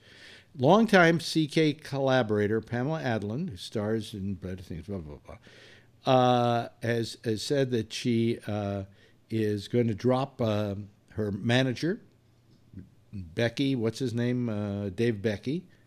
Um, She's part of ways with him and their production company, Three Arts Entertainment. Uh, she says she doesn't want anything to do with him, doesn't want anything to do with Louis. Uh, but on the other hand, FX has renewed the show. So apparently she can still go ahead and do it, but it'll have to be without them. She released a statement saying she and her family were devastated and in shock after the admission of abhorrent behavior by my friend and partner, Louis C.K. She added that she felt deep sorrow and empathy for the women who have come forward. Now, I've got a little problem with this. Uh, uh, in talking with Will Durst, he says we've known for years now about this kind of behavior on Louis C.K.'s part. It just was, it was, an, it was one of those open secrets that everybody knew about in the business. I never heard it, but then again, I've been kind of out of the comedy business for quite a while. Um, my question is, if she was working that close with Louis C.K., where they were writing all those shows together and they were producing all those shows together, don't you think she knew something? I mean, how could she have a? How could she suddenly? It everybody's becoming like uh, it- it's been said a lot lately, like Inspector Renault in uh, in Casablanca when he goes uh, gambling in Casablanca. I can't believe such a thing is going on. And then the guy comes up and says, "Here are your winnings." You know, uh, That's that's you would pretty. think that one of those women would have right. confided into Pamela. You know, is what's You, going you- on. you would think that Pamela, if if if Will Durst, who isn't even in in the the circle, okay, kn- knew about it and heard the rumors, Yeah, you're right about that. then how did Pamela Adlon not hear about the rumors? And is she not now taking this posture because she wants to throw him to the wolves to save her own career? Yeah, I think you're right, Alex. with The second one, like you she think wants her to career needs dump saving? What? I mean, Everyone should I distance don't- themselves, really. I, do you think her career needs saving? I, I don't think that she's got a negative, uh, uh, you know, a negative No, deal. but if she still wants to do business with Louis C.K. and stands behind Louis, she would. You know, because this is this is a stink that kind of rubs off on you now. Mhm. You know, uh, so I mean, what do you? Sorry. What? Did you guys talk about the uh, the two that they're calling for in the Senate and the or the House? There's two there now. Yeah, but they don't. They haven't said who they are, have they? No, they haven't. No, I didn't know if you guys talked about that or not. Yeah. No, uh, we didn't talk about it. But uh, I mean, they're coming out of the woodwork. well, Well, what every- after Ben- Mendez Menendez for? Uh, not the Menendez brothers, but there's a, a congressman that uh, Democratic congressman from, From- California. no, uh, not oh, from, he was no, taking not from gifts. California, New Jersey. Oh, it was New Jersey. Yeah, he was Yeah, taking boy. gifts. That- Everybody, have a sex- drink. Have a drink. Hey, you know, there's a little little part of the thing that I. Uh, you're you're you're so ready to get drunk for a guy that doesn't drink. Yeah, cool. Yeah. You know, I think. Now here's a question. Let's say Louis C.K. comes forward in an interview and says, "Listen, I have a problem, and I'm going to get help." No, no, he said- already said it. Oh, he did. Okay. Yeah, he already- Yeah, he he admitted it. He was the first to admit it. Yeah, Yeah. you know, I, I'll tell you something. I think it's wonderful that Louis C.K. admitted it. Okay, Yeah, he- but what he's done problem. is he's proved something. Do not admit it Yeah. You're right because it's that. like it's not like he admits it and then everybody goes, okay, now go seek some help and We're with you, Louie. No, they're still f- dropping him from FX and dropping him from Jon Stewart's benefit. You know, um, Just happens faster. like- Just as fast as Weinstein lost his. just job. as fast as Weinstein, even though he said, "I did it. I'm sorry. I'm going to seek help. It's it's something I shouldn't have done. I feel, you know, horrible about it. Blah blah blah blah blah." So why even do did that? too. Because at that point, everybody's going to go, "Well, he admitted to it." this this too. kind of this kind of behavior was almost accepted and and allowed for many many years. Now all of a sudden No, the it, tide wa- is it, turned. it but was being... it, it wasn't it wasn't tolerated. It was ignored. yeah. Well, Okay. it's the same thing. Well, no, know? no, that, that Maybe maybe ignored is not right. Maybe it's more like just bypassed. Everybody knew it was happening. Nobody said nothing. They stuck their head in the sand. all the women were scared to say Wait a minute. anything. Everybody- I think since Pamela uh, Exactly. Gal came out, everybody knew it was going on. How many times have you heard the term casting couch in your lifetime? Huh. That's what we're talking about is the casting couch. Yep. Yeah. You know, and uh, there were woman, women who would do what it took to get the part.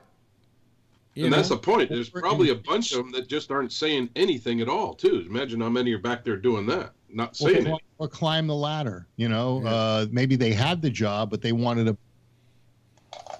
Yeah. Uh, yes, Tony. Tony? Yeah, Oh, John. you know what's going to action? I didn't follow the whole Louis C.K. story, but let's say the two women were in his room. Why couldn't they just pick up and leave then? Well, uh, I asked that question too.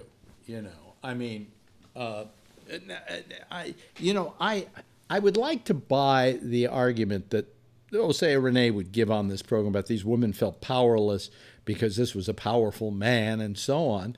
But then what you're doing is you're saying that women are so weak that they have no individual ability to just say, "Fuck it, I'm not putting up with this."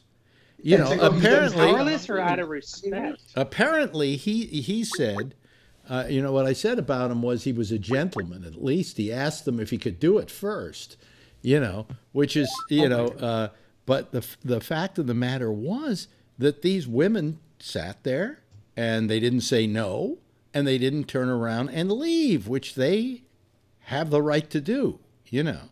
And now amy's going to tell me i'm full of shit. Boy, I mean, Um, left.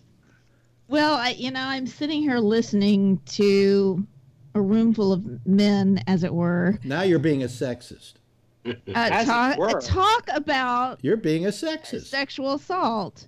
If I'm being a sexist, then I am. But it's a room full of men. There was no woman's voice. Was there a woman's voice before There I called now. in? And there still is isn't. There now. still isn't. Count millions of. Drink. Yeah. I mean, So, I didn't call in to tell you you're full of shit. What I called in to say was, in many of these cases, they were not giving consent. And they were told, for example, with the No, we're not talking Roy about that. We weren't talking about that now. We're talking about Louis C.K.'s particular C.K. situation, We're you're talking which, about by Louis the way, CK, which by the way differs which is a different. differs a great deal from From- from Weinstein and differs differs a great deal from uh, from Kevin Spacey, and by giving it the same weight, we diminish Weinstein's Well, I actually have not been hearing people give it the same weight. I actually have have heard that. Well, first, number one, he admitted to it. Number two, uh, it wasn't a case of um, forcing himself on someone. wa- it wasn't molestation, it wasn't molestation. It wasn't right? a, a case where he was using his position to tell people, you can't tell anyone because if you do, I'll ruin your career. Right. Right. Or your so, life. but but the point is, we didn't give it this. It, we shouldn't give it the same weight. But in No. penalties, in penalties to Louis C.K., we are. He's lost his job at Netflix. He's jo- lost. They're taking all his videos off of HBO. His movie wasn't allowed to open. So i- i- whatever we did, in spite of his, I'm sorry, his mea culpa, a very I think good letter that he wrote. Uh, uh, we aren't honoring that with a little bit of forgiveness Okay, Mhm. and I think so these are all knee-jerk reactions, and I think he'll come back faster. I than don't think so. Would ever. I don't Well, think you know what's astounding to me is the only person who's not gotten any eh, who actually has been rewarded in spite of multiple double digit accusations of sexual harassment and sexual assault and admitting to them on the radio and the TV uh, is the current president of the United States. Well, you're you're absolutely correct. Uh, in fact, there's even an assertion that he had sex with a 14 year old girl, which puts him in the Roy Moore Club. But here's the difference. right. Number one, he's the president of the United States, and he can't be charged with a crime right now. Oh, yes, he can. He can't. charged with being stupid. Oh, absolutely. Yeah. In fact, That's it's, it, there, impeachment's there all are about. cases in court. I, I've been told you have to wait till he's no longer president before you can charge him with it. No, Not true. Not true. Not true. Okay. not true. Uh, But there- but, there- but, but the for, forget about forget about forget forget about the. Trump bashing at this moment. Let's let's go to the subject at hand here, and that is, and I was mentioning this to to Will earlier. We all remember the first person to be accused of this kind of behavior was Woody Allen, if you may remember. And yet Woody today is making movies and still has a successful career, and I think uh, uh, has uh, has had one of his most successful films ever in the, just the last couple of years since that thing. If that What about that Roman if that ex- same exact uh, thing happened to him right now, he'd never be making another movie. What about Fatty Arbuckle? And he didn't do anything. Well, well, that that's too so That's old a a story nother that nobody even knows who we're talking about. Okay, but no, Or- Fatty. Arbuckle again did was a was a comedian in movies and silent films who did absolutely nothing, and yet he rented the room. he rented the room at the St. Francis Hotel, and and uh, he wasn't even there. He was in L.A. at the time, and yet there were three trials, in which in the final trial, the judge admonished uh, everyone after he was found not guilty in the third trial that this has been one of the biggest wrongs ever done to a human being in this country in in the courts, and. Uh, Yet he never worked. He never was able to work under his name again. He worked as a director under the name Will Be Good. Uh, you know, also most of his films they they took the silver content off and destroyed the films. No, they didn't take the silver content off. They uh, what they uh, they did even worse than that. Uh, in the old days, because it was silver nitrate film, it was highly explosive, and so if they wanted to do an explosion or a fire in a movie, they simply lit old film stock on fire, and they used his films. Wow. so that about ninety percent of his work has completely disappeared. But really and, and in the end, he died very, very young in his thirties, uh, and, they, and his wife said he died of a broken heart. But what I'm saying is, if Woody Allen had uh, been accused right now in this atmosphere, he'd never work again. Same thing. Yeah. just now, They'd yank everything. huh? Yeah, They'd they- yank everything. yeah. Yeah. Well, what's happening now is It's like- finally it's almost all of like these what- women are coming forward. It was like what the And- Russian, and men. what the Russians did to Stalin. I mean, they it, all these people feel that by purging themselves of his of Louis C.K.'s material, they will no longer have to have the taint of Louis C.K. It's it's almost like a uh, the purge of Stalin in the Soviet Union when they started pulling down all the statues and all the memorabilia. Yes, what were you saying? Uh, I, I don't think that he he's going to be gone forever. I, I think that, you know, I think most people do see that as different. Um, you know, Harvey Weinstein is another matter, but uh, but people do. Uh, in fact, I saw a thread on Facebook recently that was like rate, um, and it was Weinstein and uh, Spacey and um, who are we talking about? well, you, Louis C.K. Louis C.K. And Yeah. so, and everybody was like, yeah, I think maybe one person said they're all bad. But everybody kind of gave Yeah. Louis C.K. a, a bit of a pass. Well, somebody said the trouble is that I'm going to have is anytime I see Louis C.K. on stage, I'm going to think about him jerking off in front of those women, and it's going to make me laugh. And I said, well, that's what Louis C.K. wants you to do. Uh, that's that's right. you know. Uh, Well, there are And- still people to this day who won't go to Woody Allen movies because of what he was accused of. there are people that will not go to Woody Allen movies. You're absolutely correct. You know. Um, uh, uh, there's no. What did you just send me a picture of Joe Biden groping a woman? Yes. Oh, boy. You're incorrigible, Phil. you really are. You're absolutely incorrigible. Um, uh, but you know, I mean, all I'm saying is, is that uh, uh, um, I, I That's just, Joe's Christmas photo. huh? Uh, Joe's Christmas card photo. Yeah. It's not his wife though. Oh, it's not his wife. Okay. It's not funny, Phil. Joe Joe Biden is a sweet guy, Nah, He's a he's national the treasure. next guy to go down. huh? He's the next guy to go no, down. the next There's guy. Uh, well, you know, uh, Amy. Amy's right. One of the biggest, one of the biggest uh, people in all of this that could be brought down would be Donald Trump. Mhm. You know, Yes. and yet they're keeping kind of clear of that one. You know, uh, and I find that somewhat hypocritical. Uh, and I find that the Republicans, you know, the Republicans are absolutely half of them are for Roy Moore, half of them aren't for Roy Moore.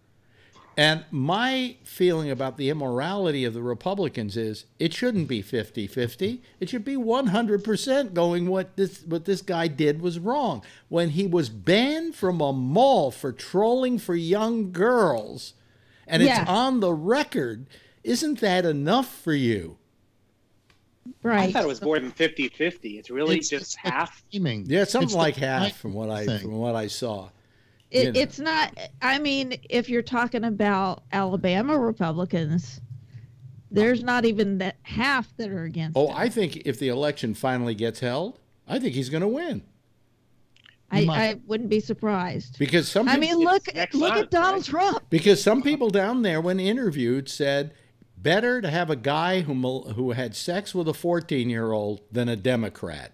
That was their Alabama needs to be broken off the United States and pushed into the Gulf. Alabama's so fucked up. Yeah.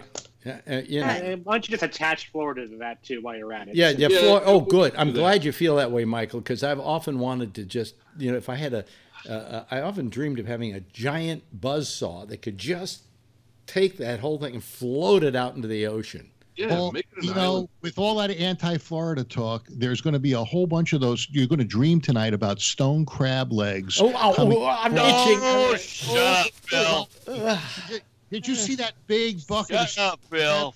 you know, Uh, it's you know, I, I mean, Who's got an EpiPen? how about Michigan and Pennsylvania and all those places that after and- after double digit women came out and said you know and they showed all the court records of the women in the past that have sued him um, that still voted for him Uh, uh, can we can we can we get rid of those states Wait a too minute. V- voted for who? You're talking about Moore? donald trump Donald oh, Trump. Trump. Yeah.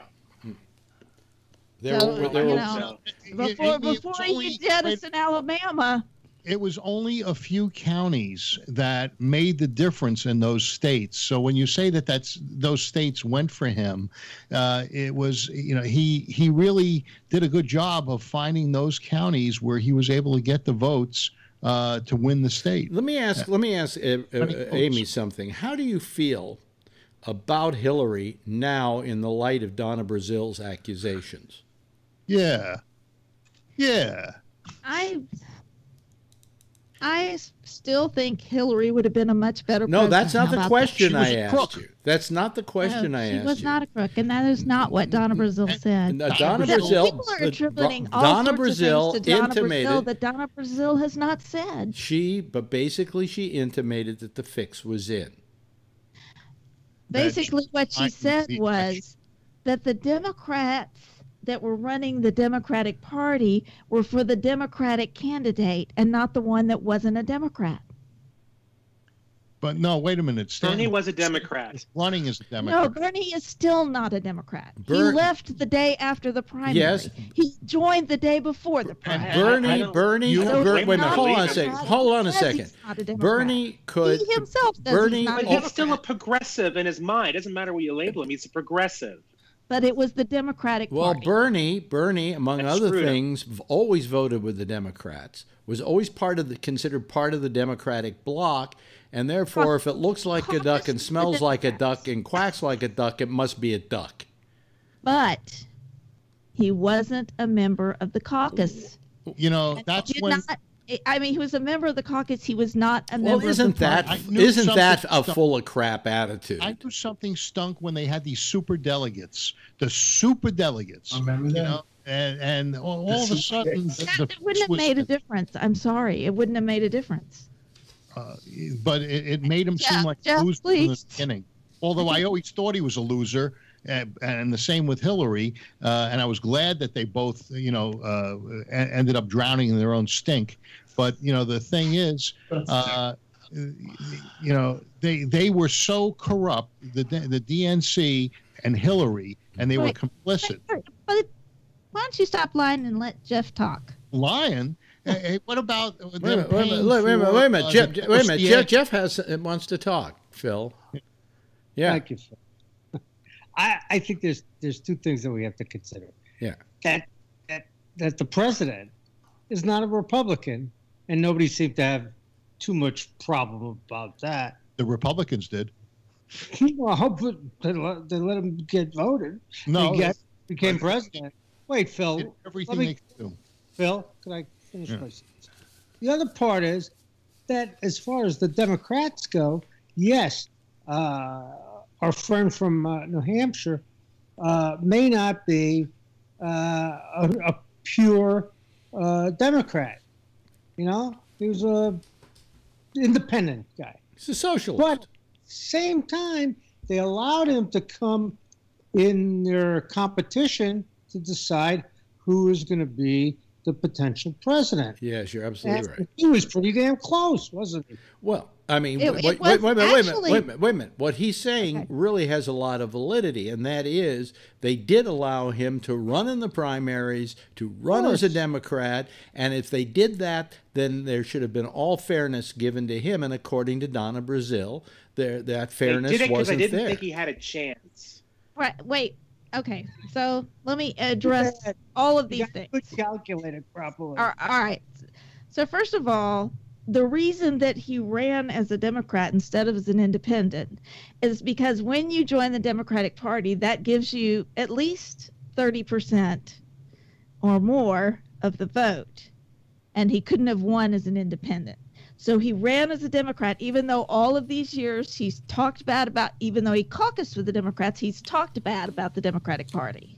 That's smart. And so, uh, yes, he joined. It's it's like if you know it was a club that he didn't want to join, but then he joined in order to become president of that club. And then, Well, uh, you know, he but didn't I, get but I, elected I, president I, of that club, I he object, left the club I, I object to having to be a member of that club because I happen to be uh, registered as an independent. And the reason I registered as an independent is that I, I don't want to feel that I am forced to vote a, a company line, so to speak, or a political line. And uh, I think there are a lot of people like that in this country. But if I ran for political office and I had to run as something, I would run as a Democrat, and I would be allowed to run as a Democrat. yes, Just like would. everybody's sitting around wondering if Mark Cuban runs for president, what he's going to run as. And he says he'd like to run as a Republican and go up against Trump. But uh, a lot of people, including uh, what, what's his name, uh, the guy uh, um, who was uh, Trump's uh, aide de camp, Bannon? Uh, Bannon, uh, he's been doing some talks. He's been talking to Bannon, who has said to him, "Run as a Democrat." Not that he wants him to run as a Democrat because he'll screw up the Democratic Party, but because he just says you have a better chance of winning this thing if you run as a Democrat. So, you know, Um, there are a lot of people who don't who are political agnostics, okay? That's that's fine. What I am saying is The reason that he ran as a Democrat and a, a party he was not a part of was because there are advantages. Because let me tell you something as a political candidate, it's not a one person show. It takes a lot of people to run a campaign, even when you're running for something like county clerk, like me. doesn't excuse what the Democrats. In, Wait, wait, let me answer you. Um, because I'm getting to that. All right. So, uh, it was a fair race. Yes, they were going to do what they could to give advantage to the person who had been working with the party, who was supporting the down ballot races, who was working for to advance the whole party, who had been there for years and years. It was not a fair race. Look, Fix was you in. can count the was no, you can count the votes any way you want. Even he the still was not going to win. I'm not talking about counting the votes. I'm talking about that the, that the Democrats manipulated their own party or their own people The to debate. s- get them away from Bernie. Yeah, that was kind of that was. Yeah, uh, Donna Brazile said that she gave the debate questions to uh, Hillary Clinton. WikiLeaks. And they and they also went to Bernie. WikiLeaks. I, I, I didn't read anything about that. WikiLeaks. Um, You're making this up? WikiLeaks. fake news. WikiLeaks. It's not fake news. Listen, By the um, yeah, Is that a this, shop this is, curtain or a is y'all are accounting a lot of stuff to Donna Brazile that she has not said. Well, anyway, let me also bring up one last thing She before. she wrote it in her book. Let me. she wrote in a book. WikiLeaks. and she regrets it. Yeah, WikiLeaks. WikiLeaks. Imagine Hillary Clinton was in the room with Louis C.K. Yes, uh, don't Jeff. he, I Jeff. think he pulled out for her. Thank you. Jeff. I I listened to Ms. Brazile uh, I want to see how this is going to end. Wait a minute. on TV by a couple of other people, and I'm going to tell you, she she often did not want to answer the question, and and and the reason she she gave her example as to why not to answer those questions is she says, "Well, read it in my book. It's written in the book. It's written in the book. It's written in the book. It's written." You know what? She didn't want to answer half of those pictures because she, I think she's that full of shit. because she didn't like them, and she's full of shit. Uh, yeah, I'm agreeing with him. He's right. She's trying to sell a book. Yeah. Yeah. That's By the way, let me let, let me let me finish with one last quick story here. Nothing we really have to discuss much, and that's two, two members of the House of Representatives are calling for an investigation into whether Federal Communications Commission Chairman Ajit Pai has been improperly clearing regular, regulatory hurdles for the Sinclair Broadcast Group's pending acquisition of Tribune Media.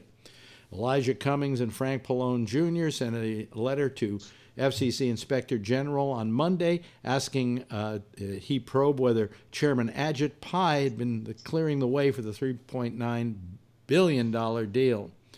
Uh, Pallone and top Democrats in the House Oversight and Government Reform Committee and Energy and Commerce Committee, respectively, wrote in the letter We request you examine how the FCC has conducted its business with regard to Sinclair.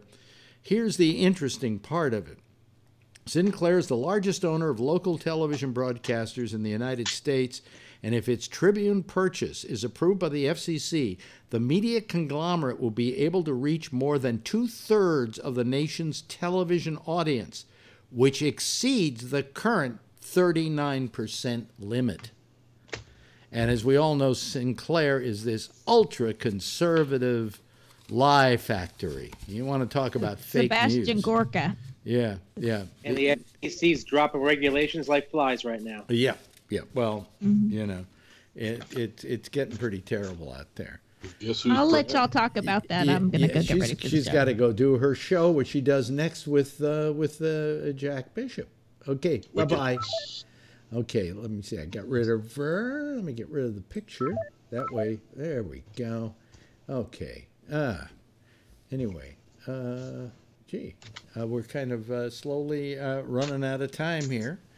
Uh, any last words of wisdom from any of you on anything in particular? WikiLeaks. WikiLeaks. Well, I'll tell you something funny tomorrow. Huh? One of the guys who worked, the late, my cousin baked the cake, Alex. I'll let you know fast. I told Shecky. And the guy was eating the cake, and my cousin's hair was in the cake. He pulled it out of his mouth. I didn't eat it. My mother never lets me eat anything in there because she's messy. She, your mother never lets you eat anything? Because she's a little messy, my cousin. So when he was eating the cake, her hair must have got in the icing. He pulled it out like a piece of hair. It was disgusting. I almost laughed. it was terrible. Oh, I said, oh, God. God. Well, whatever you do, don't eat anything. I made like I was eating. I threw Hey, it out. I got to start playing a theme song here. Oh, yeah. Otherwise, somebody's not going to. It must have been by accident, though. There we go. There we go. There's our theme. Hey, everybody. Thank you so much. Thanks to Amy who joined us. Also, thank you, Tony. Thank you, Phil. Thank you, Mike. Thank you, Jeff. Thank you, Michael. Call us some more. Really love having you here. And of course, Kevin, thank you so much as well. Let me put everybody small here again. What am I doing? I'm just screwing up like crazy here. Everybody, wave a big goodbye and say goodbye to everybody. And we'll see you again, uh, let's see, tomorrow night, same time, same station in life. In the meantime, Jack and Amy are next. Yes, Jack and Amy are next. And then after that, at uh, 1 o'clock in the morning, is Connections. I'm Alex Benacia. Tomorrow, as I said, same time, same station in life.